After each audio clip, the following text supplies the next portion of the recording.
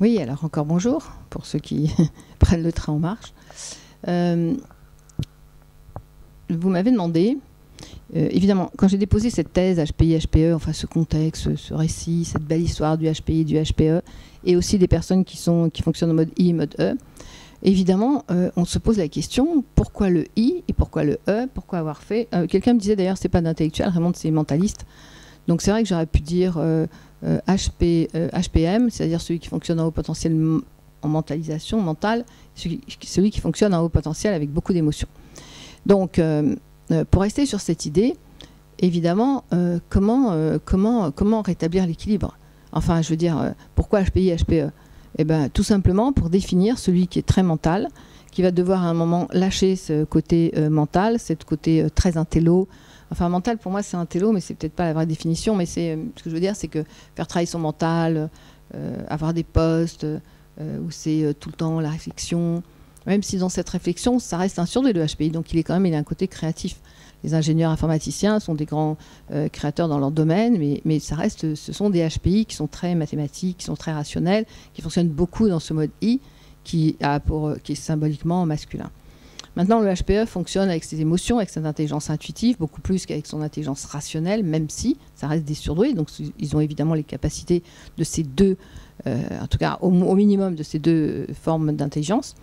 Et euh, le HPE, qui est énormément dans l'émotion, euh, s'exprime, euh, s'exprime différemment, bien évidemment. Alors, après, il y a évidemment la personne qui fonctionne en I et E. I en. je ne peux pas m'empêcher, excusez-moi. Ah, je vais pas m'excuser. Hein. Bon, alors, donc, la personne qui fonctionne en I et E, c'est une personne qui a trouvé un équilibre. Et si on redéfinit, parce que quelqu'un me disait, mais comment on fait On est HPI, mais comment on fait On est HPE. Donc, comment on fait Comment on fait ben, On doit rétablir l'équilibre.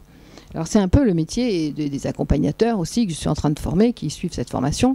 L'accompagnement du sourd c'est évidemment euh, euh, rétablir, euh, rétablir ce sens entre le i et le e, c'est-à-dire entre le mental et l'émotion. Quelqu'un disait apprenez à gérer ses émotions. Moi, je ne vois pas comment on peut gérer ses émotions. Donc ça, c'est pas possible. Apprenez à, mais je vois pas comment c'est possible non plus. Donc la seule solution, c'est d'utiliser ce qu'on a et non pas de le rejeter, non pas de le gérer ou de le canaliser. Alors, le HPI est mental, il fonctionne avec euh, symboliquement euh, son masculin, euh, masculin très fort. Qu'est-ce que c'est masculin? C'est tout ce qui est rationnel, tout ce qui est cartésien, tout ce qui est mathématique, tout ce qui est mental. Voilà. Le HPE fonctionne lui beaucoup plus avec son intelligence intuitive. L'intelligence intuitive, c'est son intuition, ses calculs rapides, son ressenti, ce qu'on appelle ses émotions. Et j'ai fait une vidéo sur l'émotion, c'est-à-dire plein de choses en même temps qui, lui rappellent, qui se souviennent, donc euh, c'est toute cette émotion qui va parler en premier. Et on est dans la créativité. Le E, l'émotion, c'est avec l'émotion que, quelqu'un fait de la création, euh, crée.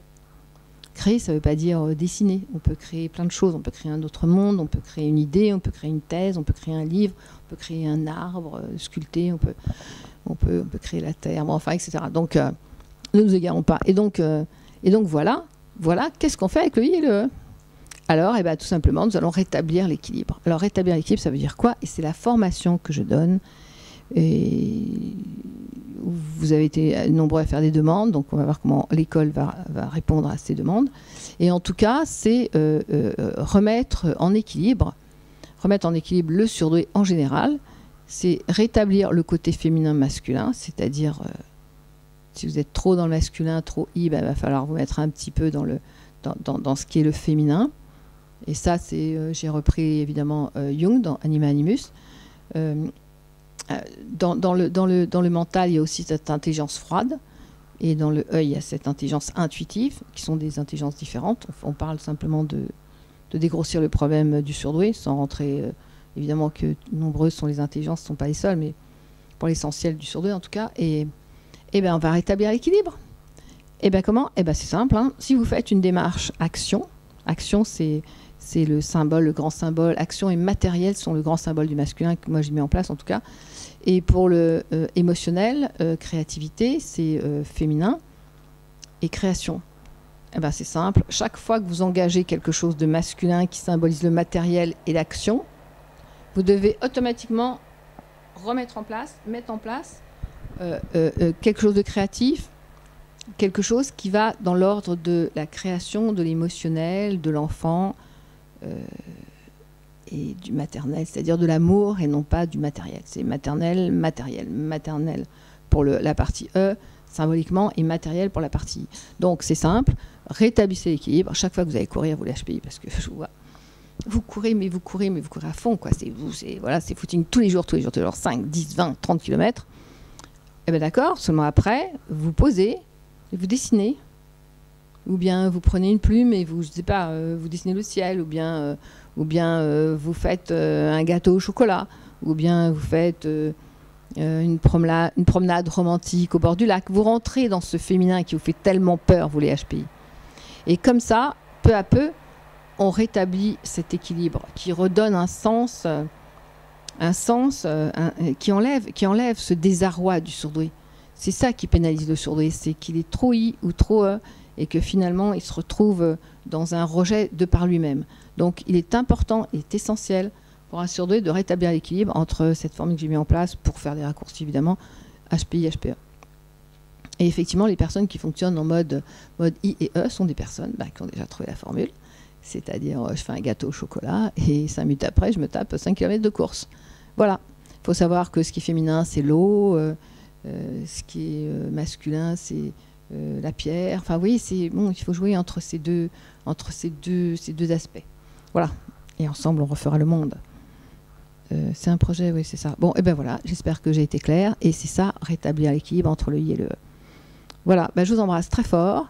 Euh, merci pour vos mails. Merci pour ceux qui me demandent si j'ai besoin d'aide. J'ai énormément besoin d'aide. Voilà. Donc, mon masculin étant chez moi très, très en stand-by, mais je fais beaucoup d'efforts. Euh, voilà, donc euh, le ILE, rétablissez l'équilibre, c'est le travail que j'engage pour les accompagnateurs euh, des, des, surdoués. C'est un gros travail avec beaucoup de symboles, beaucoup d'identités. Voilà, mais commencez à faire le travail vous-même. Voilà, je vous embrasse et je vous dis à tout à l'heure. Merci.